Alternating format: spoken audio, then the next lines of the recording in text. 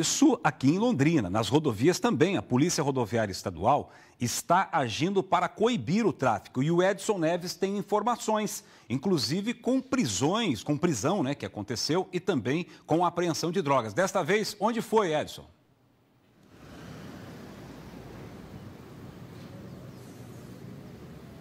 O Fernando, foi ali na PR 323, na altura de Sertaneja, que é um dos últimos municípios aí aqui do Paraná que fazem fronteira com o estado de São Paulo. A Polícia Rodoviária Estadual estava fazendo a operação bloqueio nas rodovias quando então eles avistaram um Ford K com características suspeitas. Então, claro, né, o policial já tem aquele olhar diferenciado e fez a voz de abordagem, ou pelo menos tentou. Só que aí, Fernando, o motorista desse Ford K não obedeceu a ordem de parada e aí empregou alta velocidade ali na rodovia.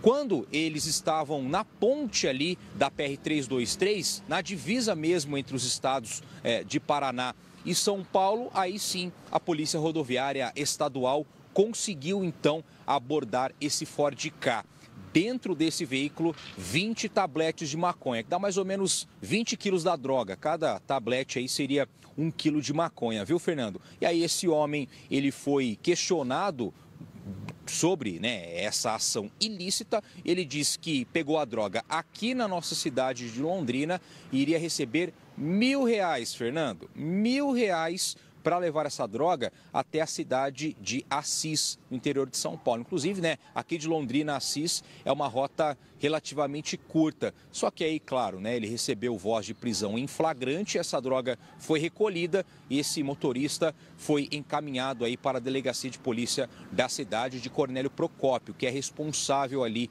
por aquela região de sertaneja, viu, Fernando?